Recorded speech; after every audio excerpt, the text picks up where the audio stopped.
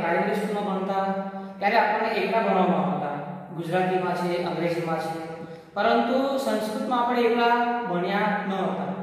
ત્યારે ધોરણ 7 નું જે છઠ્ઠું પ્રકરણ છે, એ સંખ્યા, એ સંખ્યામાં પણ આપણે એકલા વિશે ભણીશું. અને એકલામાં પણ આપણે જોઈએ કે મિત્રો, વિદ્યાર્થીને ખાસ રમત ખૂબ જ શું કે ગમે છે રમત રમવાની. એમાં ખાસ ક્રિકેટ.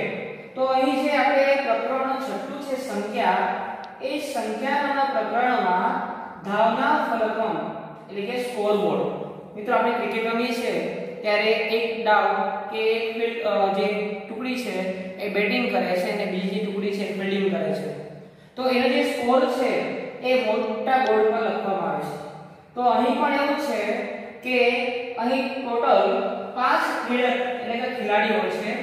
અને એમણે પ્રથમ, બીજા, ત્રીજા, ચોથા અને પાંચમા ડાવમાં કેટલા રન કર્યા, એનું સરસ એવું કોષ્ટક અહીં આપ્યું છે. તો આપણે જોઈએ, તો અનુક્રમ નંબર 1 એમાં ક્રીડક લખ્યું છે. ક્રીડકનો અર્થ થાય છે ખેલાડી.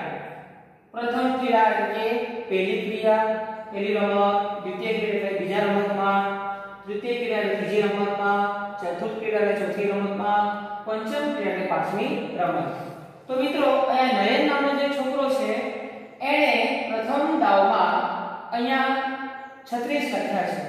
પણ આપણે એને સંસ્કૃતમાં જોઈએ તો 36 ને શું કહેવાય? 60 63 બરાબર? પછી વિવેક શું છોકરો છે, એમણે પ્રથમ દાવમાં કર્યા છે કેટલા? 20 તો આપણે એને સંસ્કૃતમાં કહી શકીએ વિસંતિ ત્રીજા નંબરનો જે ખેલાડી છે, રાકેશ.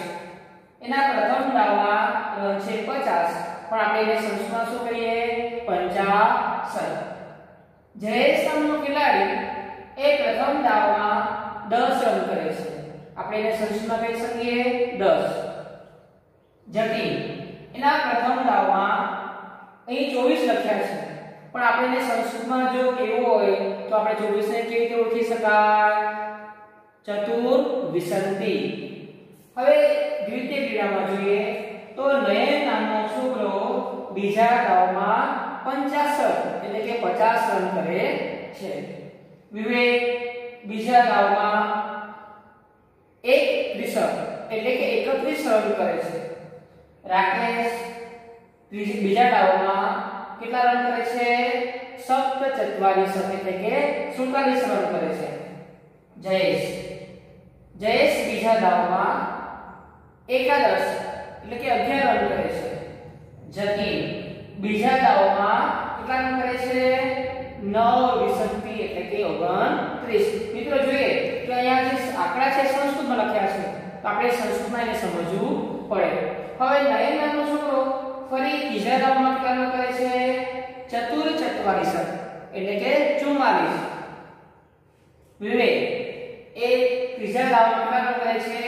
એકાદશ, એટલે કે 11 રાકેશ રાકેશ બીજા દાવમાં કેટલા કરે છે. અષ્ટ સર. જયેશ. જયેશ, બીજા દાવમાં કરે છે. સપ્ત, દસ, એટલે કે 17 જતીન. જતીન ત્રીજા દાવમાં કરે છે. પંચ વિસંતિ એટલે કે 25 હવે જોઈએ ચોથા દાવમાં નયન કેટલા છે?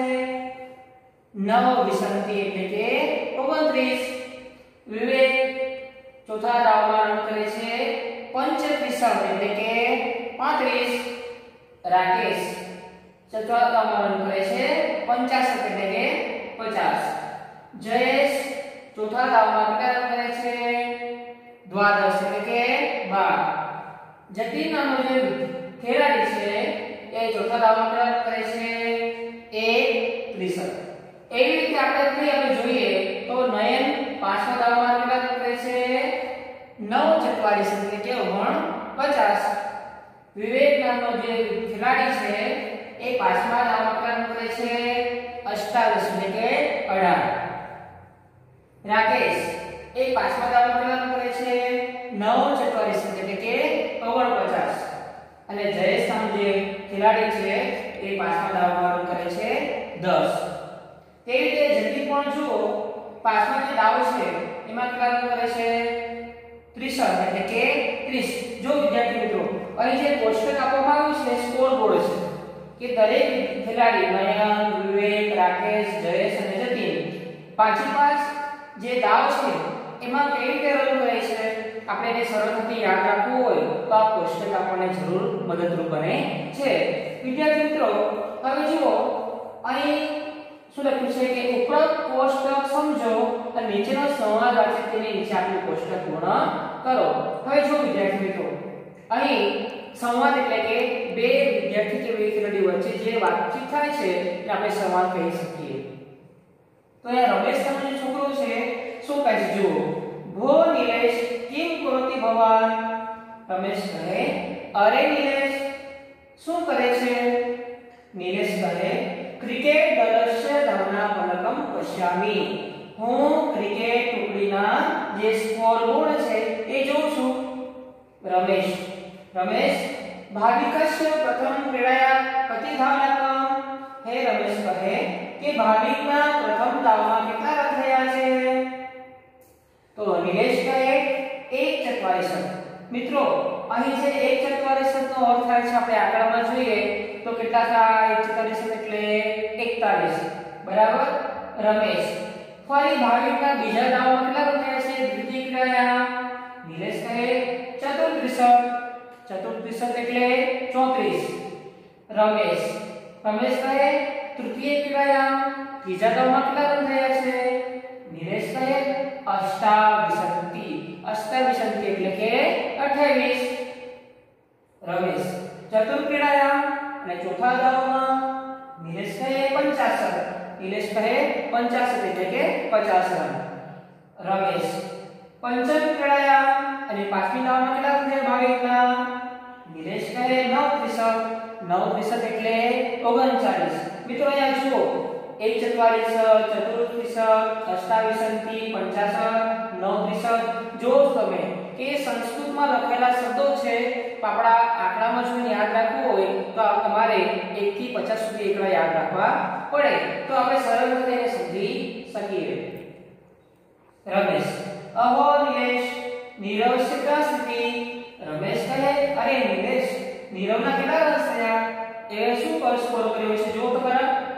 નિલેશ સ પ્રથમ ત્રયસ ત્રયસ્ત્રીસ ધાવનાકમ કરોતિ.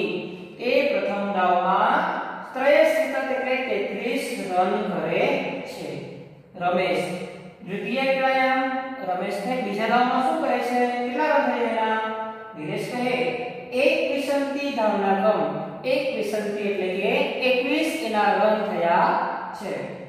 રમેશ કહી કશ્ય તૃતીય ક્રિયામ કાસ્તી. તો કહે, નીરવના ત્રીજા દાવમાં કેટલા રન થયા?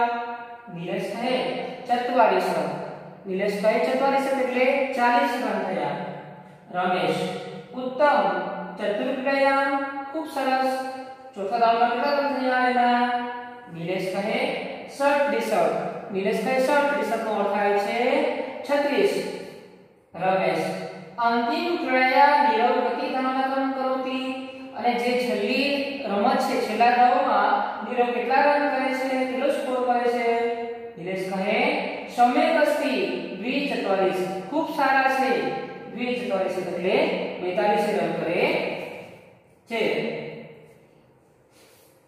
રમેશ, પશ્ય જો શાલિનસ્ય કથન ક્રીડયા સત્રિશત ધાવનાકમ હવે રમેશ કહે, શાલિનીના જે પ્રથમ દાવમાં સત્રિશત રન થયા છે, એટલે કે સત્રિશત નો અર્થ થાય છે 36 નિરેશ આમ, દ્વિતીય ક્રયામ તસ્ય સપ્તતિશત અને બીજા દાવમાં શાલિનીના કેટલા રન સપ્તતિશત એટલે કે 37 રન થયા છે. રમેશ તૃતીય ક્રયામ અધિકના સ્થિત કેવલ 16 રમેશ કહે, શાલિનીના ત્રીજા દાવમાં અધિકના સ્થિત એટલે કે ખૂબ ઓછા ગણ છે. એ છે માત્ર ને માત્ર 16 નિલેશ, સત્યમ ચતુર્ક્રયા અપી શત વિસંગી. અને નિલેશ કહે, સાચું. એના ચોથા દાવમાં શત વિસંગી એટલે કે માત્ર 26 રન તૈયાર છે. રમેશ ક્રિયામ સ અધિકમ અષ્ટ ચત્વારીસ દાવનાકમ પ્રાપ્ત કરોતી અને રમેશ કહે શાલીન પાંચમા દાવમાં અધિકમ એટલે ખૂબ વધારે અષ્ટચત્વારીસ એટલે 48 રન એ પ્રાપ્ત કરે છે મિત્રો તમે જોયું કે અહીંયા બે વિદ્યાર્થી મિત્રો છે એમનો સંવાદ છે. કે કેટલા રન કરે છે? કેટલો સ્કોર થયો છે એના પ્રથમ દાવમાં, બીજા દાવમાં, ત્રીજા દાવમાં ચોથા અને પાંચમા દાવમાં, એનો અહીં આખો સંવાદ આલેખેલો છે. કે જેથી આપણે સંસ્કૃતમાં જો સારી રીતે એકડા આપણે મુખપાઠ હશે, તો આ અભ્યાસ સાથે સારી રીતે ભણી શકીશું.